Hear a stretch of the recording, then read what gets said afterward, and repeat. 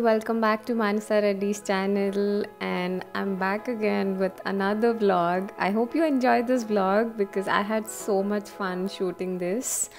Uh, although this is a little bit old vlog, but I thought it'll be interesting because we actually celebrated our anniversary, and this is our third anniversary. Um, that means we completed like um, 12 years yeah 12 years of uh, our relationship. And this is olive bistro. I chose olive bistro because i really really like the vibe of the place. I won't say i love the food but definitely the place it's a big yes. Because i'm a person who enjoys the environment who enjoys the ambience uh, more than the food the food can be like very okay because you know a lot of times i order only salad.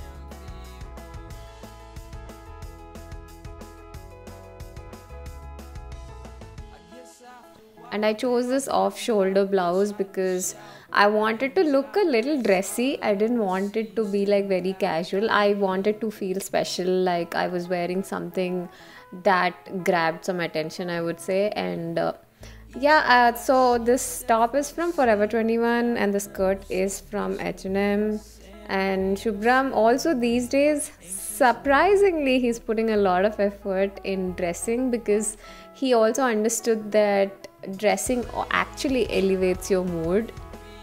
And you can see that he he didn't even tell me okay like he was wearing that to match with olive bistro the white and blues but somehow it turned out uh, well. I'm glad that he's also picking some style along.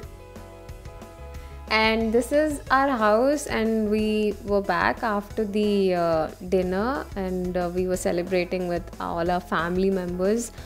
Uh, a lot of our cousins were there, and uh, we got the cake from Labonel. It was gifted by my cousin, and usually, I think most of the times we get our uh, cakes from Labonel. And the next day, we went to this uh, exhibition. It's a pop up show. It had everything that was like a mini party, I can tell you. It wasn't just like a pop up. And also, the way they did the decor, everything was so grand and it was nice. It's actually nice, and the place is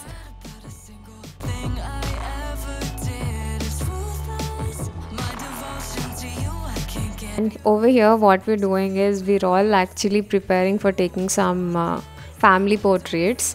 Because our grandfather suddenly he said like we you know we all are together and it doesn't really uh, happen every now and then that the whole family is together for so many days. So let's take some pictures and keep them as memories uh, we did the photo shoot like in uh, in the house and we also did it on the terrace. Like we did we did it totally by ourselves.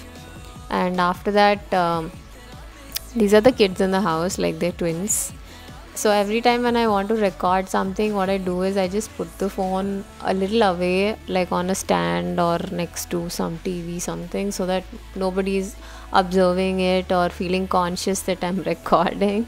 But you know like the younger one in this he understood that i'm recording. So he saw that it was recording and he asked me what are you doing? And i'm ending the vlog over here i hope you had fun watching it i had amazing fun shooting this whole thing because i think it's great great great memory our birthday and then some family portraits i think it's the perfect family time so I'll see you in the next vlog. Bye bye.